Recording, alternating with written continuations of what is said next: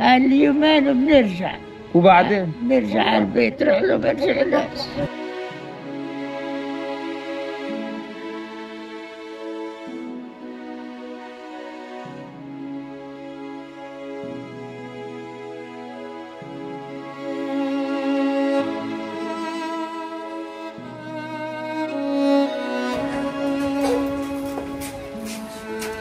النهارده فيديو جديد وفيديو من مكان مختلف ولكن فيديو عن نفس القضية لأن القضية دي مش بس في مكان واحد القضية دي نطرت في كل مكان. النهارده فيديو عن القضية الفلسطينية ولكن من المخيمات الفلسطينية اللي موجودة في لبنان وبالتحديد من مخيم برج البراجنه هنحكي عن اللاجئين الفلسطينيين اللي سابوا أرضهم من النكبه من سنة 48 وبقالهم أكتر من 76 سنة عايشين كلاجئ ساب بيته وارض أهلا بكم في مخيم برج البراجنة في بيروت في لبنان.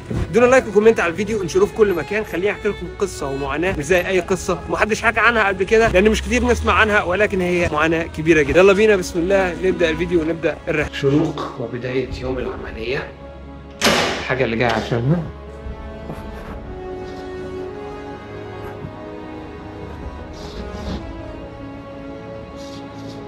ألا وهي تصوير المخيمات الفلسطينية اللي موجودة في لبنان. مش هينفع نبدأ اليوم ده من غير شخص مهم شخص فاهم شخص عارف كويس في لبنان. أنا دلوقتي مستني صديقتي ليليان عشان نعمل الحاجتين اللي جاي عشان نروح ناكل منقوشه نفطر وبعدين نروح نصلي. طبعا يعني لبنان وجمال.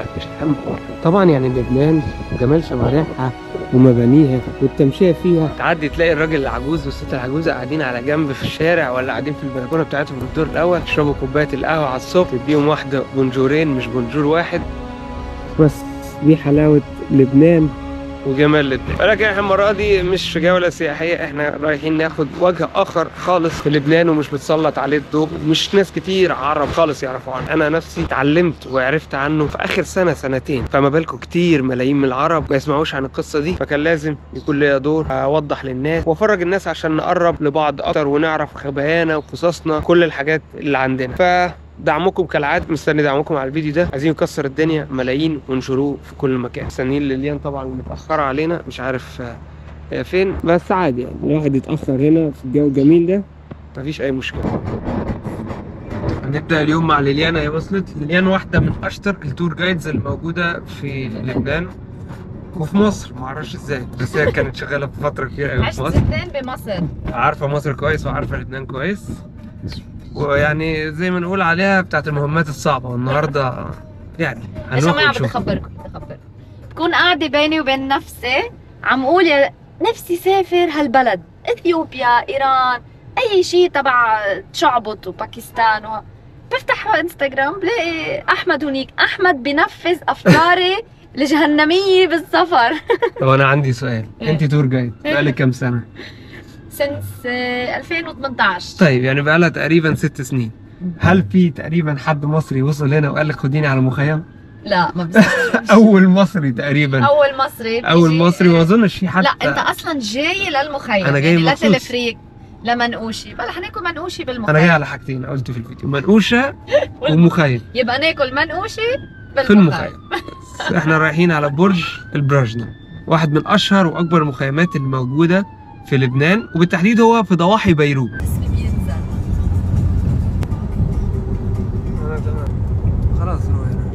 وخليني أقول إن لحد دلوقتي لبنان من أكتر الدول العربية بالنسبة لي اللي بيدعموا فلسطينيين لأن مبدئيا سببين.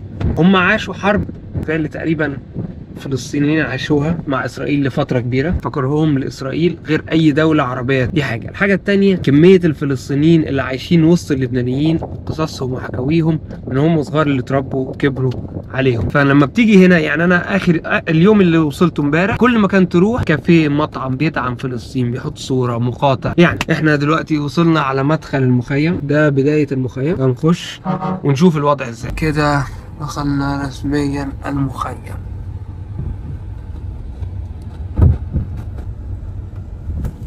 ودي علامة حركة فتح.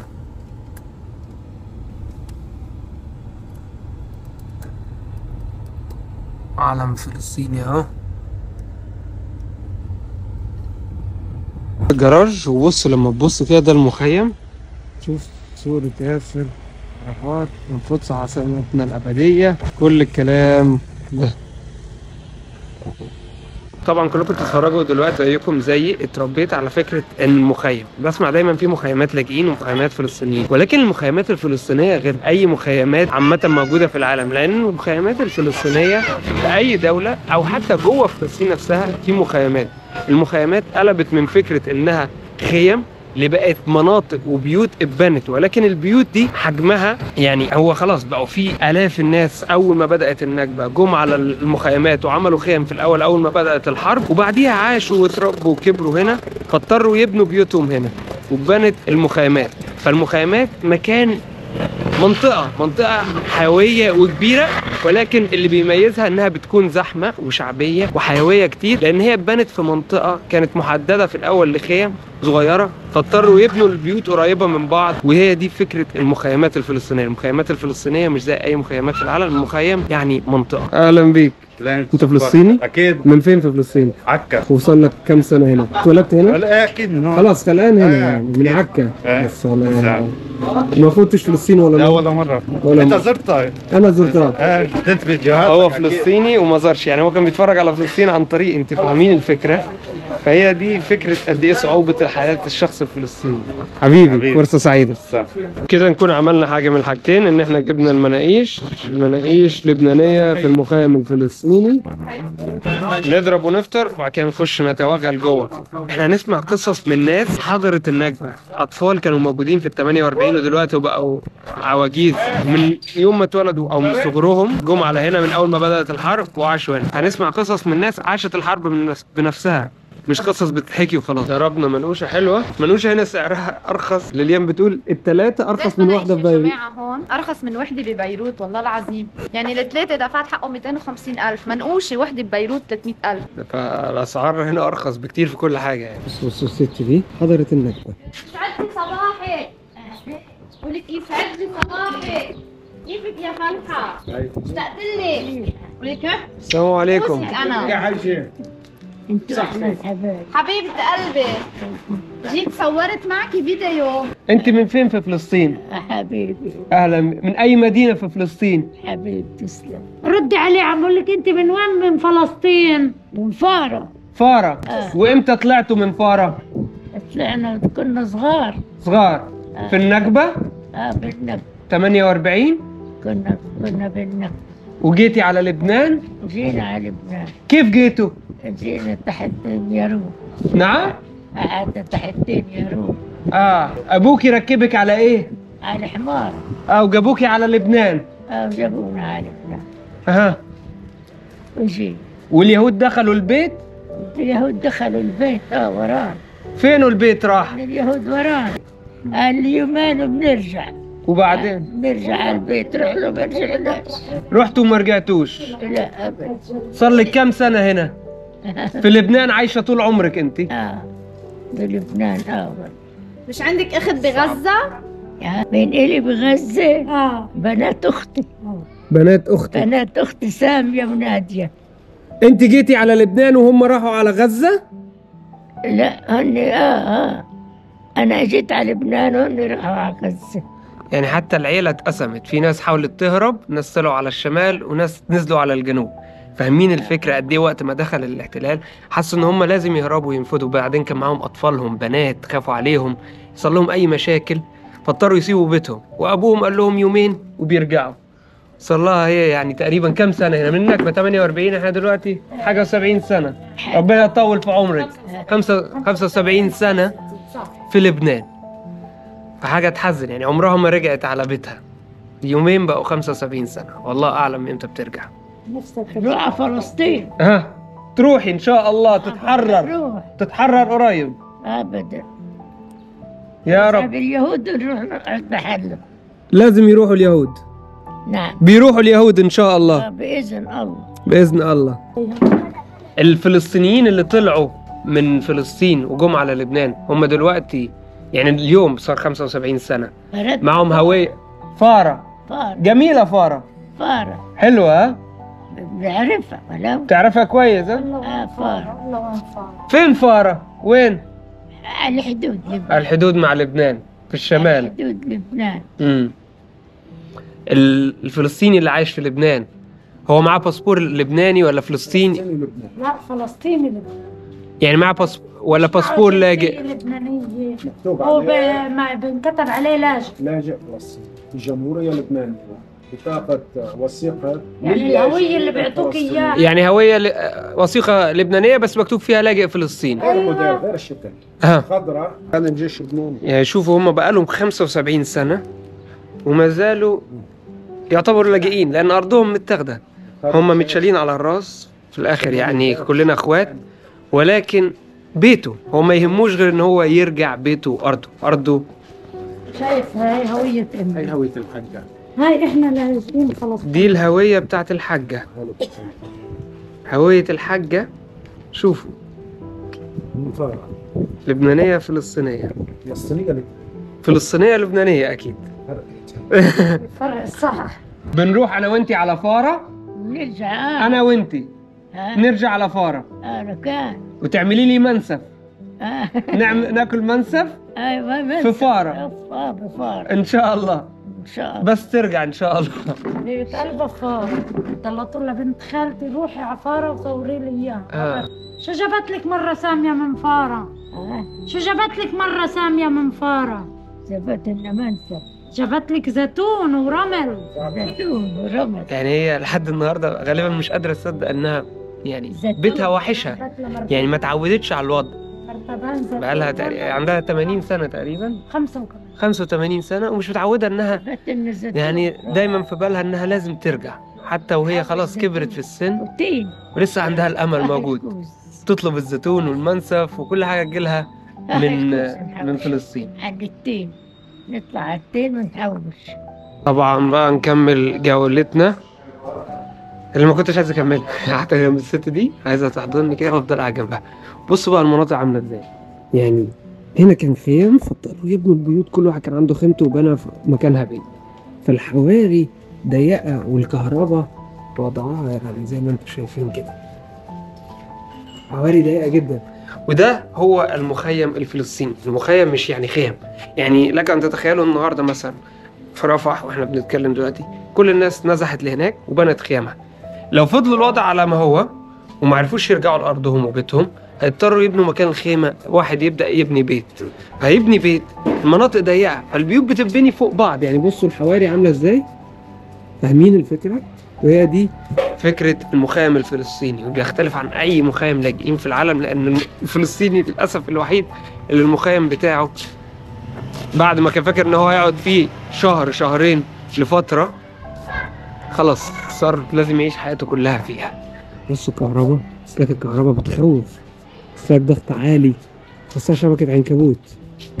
وجوه في مدارس وملاعب كورة وكل حاجة. المدرسة دي؟ انه هي أوسع أوسع نقطة بالمخيم لأنه هي كبيروت عامة والمخيمات خاصة بيفتقدوا للمساحات الواسعة والعامة. فهن بحاجة يتنفسوا. فمكان إنه بس هيك يتجمعوا ويتنفسوا. هي أوسع مكان. اذا ملاحظين قديش الشوارع ضيقة طبعا شهداء بقى في كل مكان. يعني في ناس من هنا بتروح يعني أكيد تعمل عمليات تنزل ع- لأن هو من اصله فلسطين بينزلوا على فلسطين تهريب ولا معرفش إزاي. خلاص يقرر إنه يستشهد فدا فدا البلد وفدا فلسطين. السلام عليكم. السلام مصر يعني. من القاهرة. حبيبي.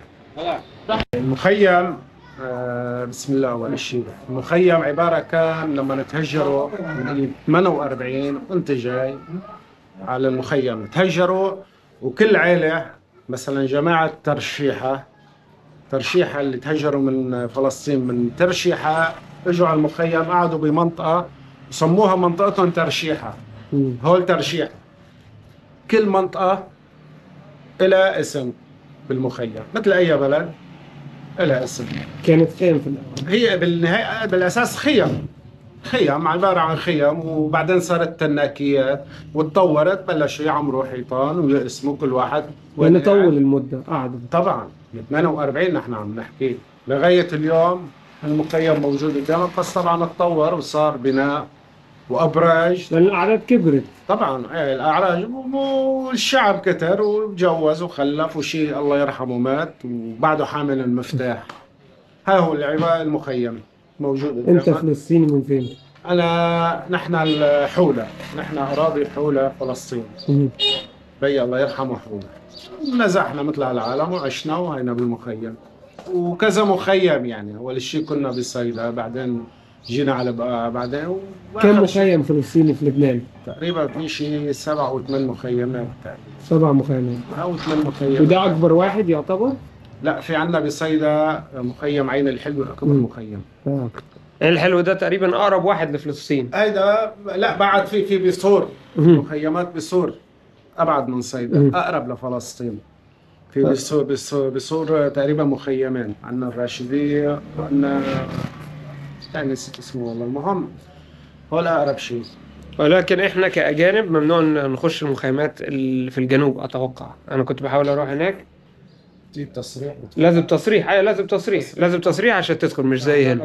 قولي المفاتيح. الله يرحمه من فوق. تخيل بقى أنا عم بتخيل شغلة. يعني هن لمن كان حامل هالمفتاح وقفل باب بيته. قال يلا أنا يومين وراجع وجابهم. كيف صار؟ يعني 76 سنة وبعدهم محافظين عليهم. هيدا بأثبت حق العودة. أنا خايف امسكها والله بجد يعني تاريخ ده. ده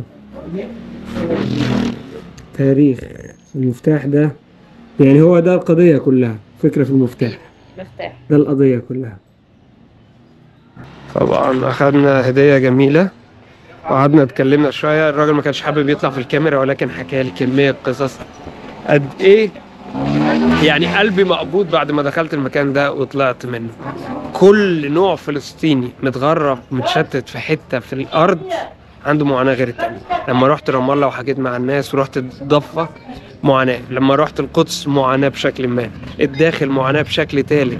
غزة معاناة من ليفل آخر. اللي عايشين بره كلهم معاناة. تخيلوا بيصحى كل يوم. يلا. بيصحى كل يوم من النوم على باب مك... على مكتبه حاطط مفاتيح بيت أهله. بيقول لي أنا أهلي أبوه وأمه بقى حتى مش جده اتولد في فلسطين واتربى في فلسطين. وجه على لبنان فبيقول لي أنا أبويا حاسس إن هو يعني خسر رجولته. مكسور. وربانا على إن إحنا أرضنا هنرجع لها. والنهاردة هو بيربي عياله تفضل مستمر القضية لحد الله أعلم. بس نكمل جولتنا في المخيم فيها كمية مشاعر سبحان الله واللي عايز أقوله لكم إن المخيم ده 53 ألف بني آدم تقريبا عايشين هنا. مش كلهم فلسطينيين. ساعة الأزمة السورية بقى في نسبة سوريين بسبب كمية السوريين اللي جم من سوريا على لبنان. في جزء منهم توغل عاش جوه آه المخيمات الفلسطينية. في عيادات هنا تبع الأونروا اللي هي ال- الأمم المتحدة اللي بتدعم القضية الفلسطينية. المهم يعني إحنا دلوقتي بنتمشى. مخيم في 53 ألف واحد في كيلو متر مربع واحد. التوسع هنا كان بيقول لنا عمودي مش أفقي يعني بيبنوا البيوت فوق بعضيها لدرجة إن هو قال لي في حارات في بيوت.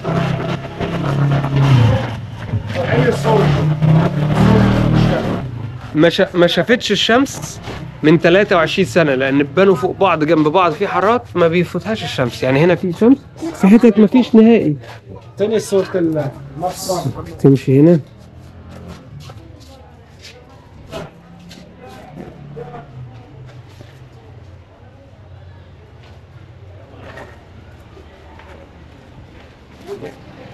كلها بوسترات وكلها دخلنا بيت عشان نزور آه، عمه. حضر النكبة طلع من بيته.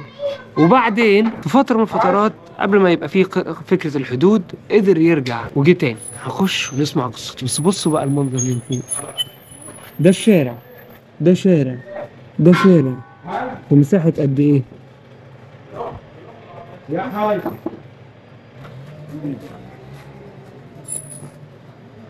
عند عمه. شوف حضرتك حضرت النكبة؟ أساس النكبة ها. من الأساس. أنا مبسوط لأن عم عم بأدي دور يعني ولو متت وأنا أثناء المقابلة يعني أنا بشعر بالفخر إن عم بأدي دور. عم بأدي دور تجاه وطني وتجاه الوطن العربي. طبعا عمو بيحب يسجل كل حاجة. بيكتبها أول بأول. فاكر لك كل حاجة. يا أخي عتبان علي يعني عم نعتذر منه. اوعى تشله كلمة. تحط له كل كلمة. أنا من القاهرة. بداية بسم الله الرحمن الرحيم. أهلا وسهلا بحضراتكم.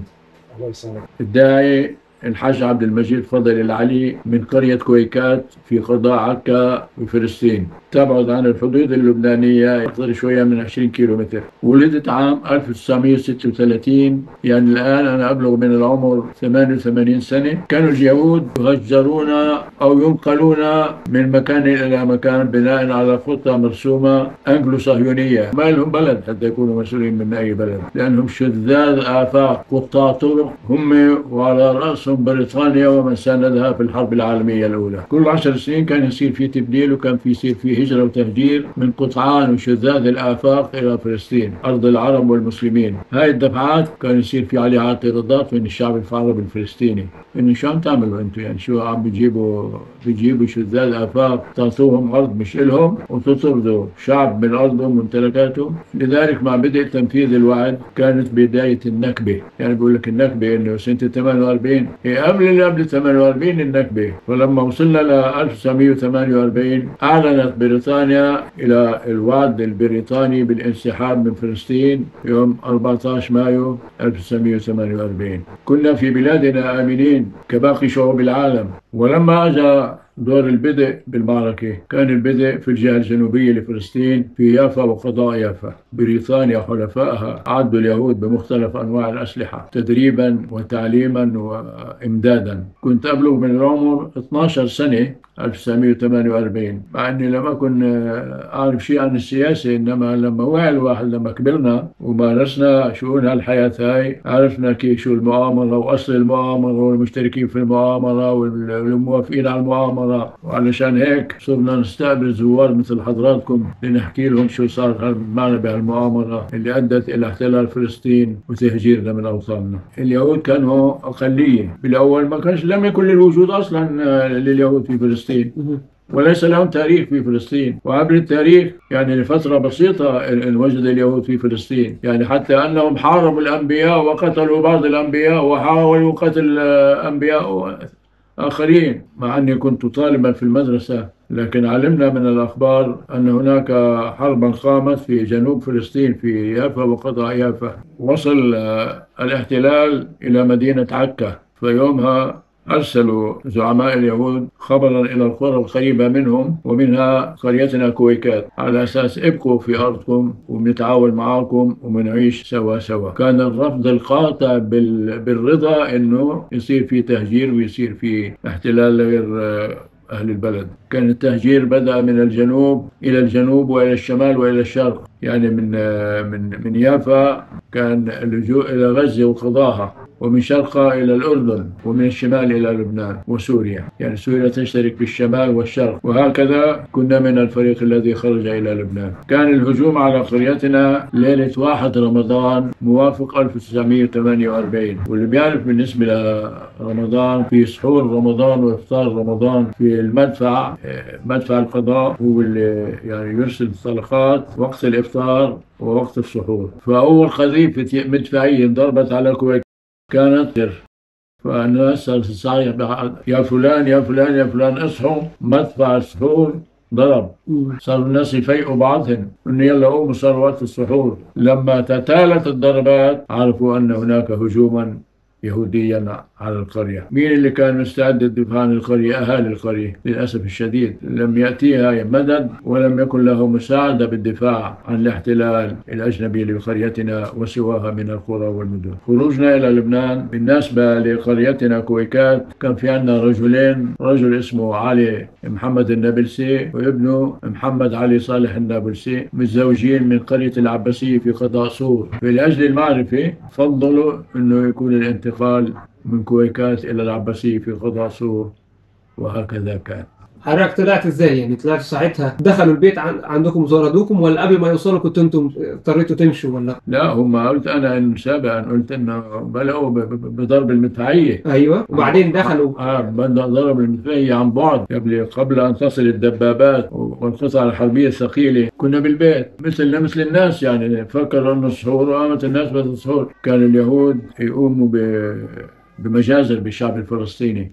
فلأجل هاي المجازر اللي قاموا فيها ضد الشعب الفلسطيني خافوا أهل البلد أو كبار القرية بأهل البلد إن يصير في ببلدنا مثل ما صار في غيرها من المجازر. فقرروا إبعاد النساء والأطفال والرجال الكبار في السن والنساء الكبيرات في السن. وهكذا خرجت يعني كان لي من عمر 12 سنة وأنا أنا كبير إخوتي يعني حتى ما, ما يعني حضرتك وقت المدفعية لما اتضربت الأهل قرروا إنه خلاص يلموا حاجتهم وطلعتوا على طول. لا ما يطلعوا على طول طلعوا على القرى اللي بجانب قريتنا آه. أيوة خطوة بخطوة يعني خطوة بخطوة ليش؟ لأنه كان في قرية كفر يسيف. قرية سكانها نصارى ولم تكن الحرب قائمة بين النصارى وال- واليهود وقتها. وبين وقرية أبو سنان وسكانها دروز وخرجنا من قرية إلى قرية كما تفضلت. حتى خرجنا إلى لبنان عن طريق قرية رميش خرجنا إلى قرية أبو سنان لمدة أسبوع. كان في جيش الإنقاذ جيش الإنقاذ جاي على أساس ينقذ الشعب الفلسطيني من الاعتداء. فللأسف الشديد لم يستطيع فعل أي شيء.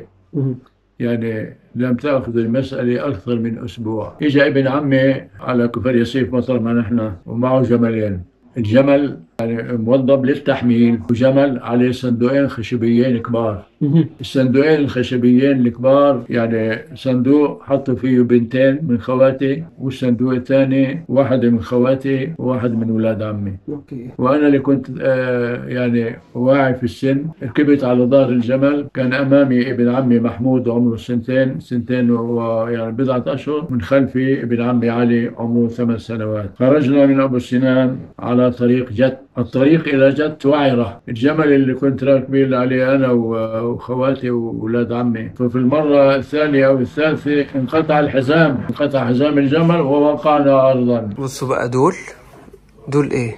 هو بال 1977 صح له فرصة العم إنه ينزل على ضيعته بكويكات بفلسطين فهو راح على بيتهم وجاب هيدا الحجر من بيته وهيدا المعول ما اللي هو الفاس. الفاس اللي بيزرعوا فيه لأنه آه، فلاحين ناس بتضيع يعني ف فكان بيقول لي وقتها كان عم بخبرني عنه إنه الأرض كانت عم تحكيه من وصل على فلسطين إنه كانت عم بتقول له إنه إنه مثل كأن عم بتعاتبه هو حس أرض فلسطين عم بتعاتبه إنه ليه فليته و- وخايفه انها ترجع تقول له يرجعوا فهو انتابه شعور الحزن بهديك الفترة فجاب معه هودول ومحتفظ فيهم.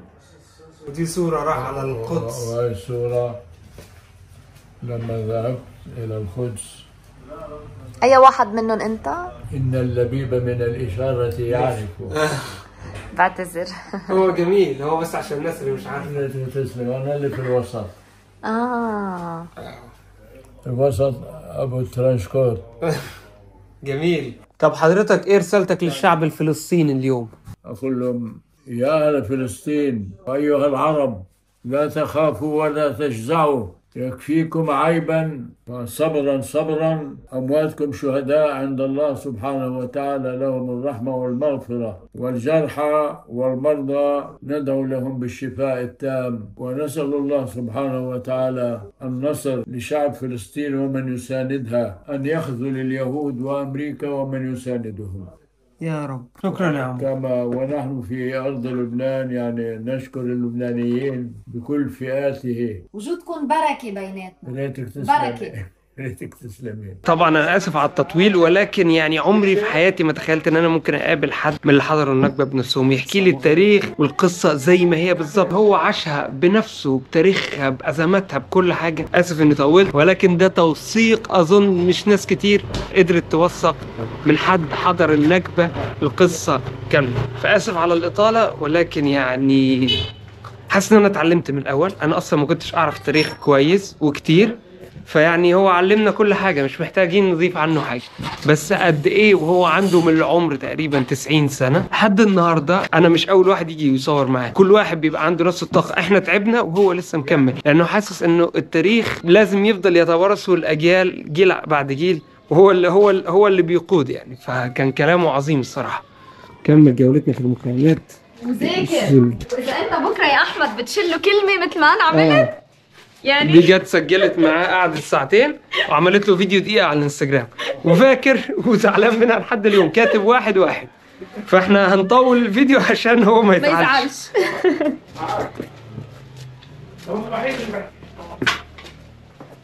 بس شو الصيد العظيم. انت مسميه؟ إيش الفيزا؟ تحكي لي؟ بتقول إيه؟ كنت ساكن في البيت هون وقت ولعت في الكهرباء اشتغل بالكهرباء. لا. وكنت شطني الكهرباء الحمد لله طلعت منها يعني. فضل الله ها حول شايف قدامك. كهرباء في كل مكان هو حط الكهرباء ومية مع بعض ده مية وده كهرباء. مية؟ مشترك. كهرباء يا الله. بص. بص بص الشبكة أنا نفسي أعرف مين الكهربائي اللي بيجي يصلح الكهرباء ما يحصل فيها مشكلة هنا. ياما في ناس ميتة بس لأن عم تتطوع هي وعم بتصلح. وبتموت يعني. آه كهرباء بص بص بص بص. شبكة عنكبوت بصوا زي ما حكوا لنا ان كل تقريبا شارع أو كل منطقة جوه المخيم بتسمى على اسم قرية كانت موجودة في فلسطين. هنا شارع بلده ترشيحه يعني ترشيحة دي منطقة في فلسطين. في المنطقة دي أهلها من الجدود اللي طلعوا من قرية ترشيحة. واللي إحنا كنا فيها يعني قرى مختلفة اتقسموا كل واحد تقريبا بقى ساكن يعني قرية كاملة أحفادها وكل بقى اللي طلعوا منها بقوا في, في مجرد شارع أو عمارتين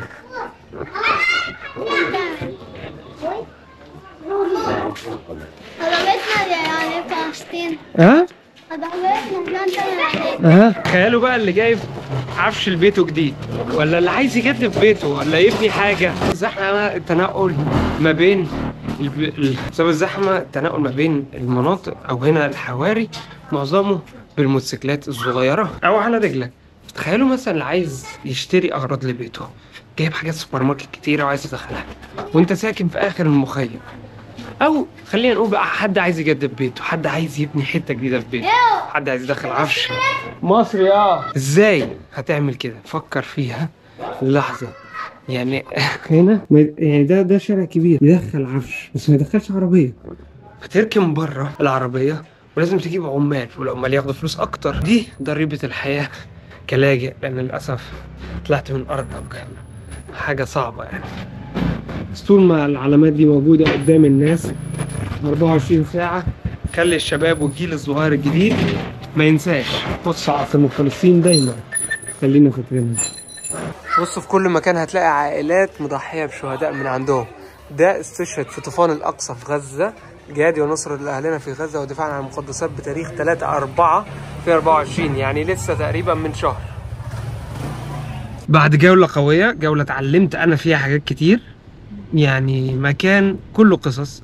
من أكبر واحد لأصغر واحد المعاناة هم عايشينها دلوقتي والمعاناة لما عاشوها زمان لما طلعوا من فلسطين. هنودع المكان ده مخيم. وبكده نرجع بيروت. يعني هو جوه بيروت جوه العاصمة بتاعة لبنان جوه البلد. بس خلاص طلعنا على الطريق. شكرا شكرا لك. يعني بصوا. عندها معلومات وناس وكل حاجة. فشكرا كتير. واتمنى آه بصوا اهي هي على طول. هتشوفوا فلسطين عندي وبكده نكون ختمنا الجولة اللي إحنا جايين عليها. أتمنى الفيديو يكون عجبكم. ما تنسوش تدوا له like و comment. ولو جايين على لبنان قريب وعايزين تعملوا جولة مختلفة في لبنان خباياها حاجاتها الحلوة مش لازم المخيمات طبعا لليان واحدة من أحسن ال tour guides الموجودة في لبنان. هسيب لكم الحساب بتاعها تحت وهسيب لكم حساب الراجل اللي لففنا جوه المخيم عشان برضو لو حد حابب يجي على لبنان وياخد فكرة يقرب من الشعوب دي حاجة تبسطني جدا وأكون أنا سبب فيها هكون مبسوط جدا. أتمنى الفيديو يكون عجبكم. واستنونا قريب قوي في فيديوهات قوية جدا وتحدي قوي من أوروبا. هنسافر حوالين أوروبا كلها الفترة الجاية في فيديوهات كتير ولكن بطريقة مختلفة ومجنونة ومحدش قبل كده عملها. شكرا الفيديو الجاي. تنسوش سبسكرايب عشان نوصل مليون قريب. سلام.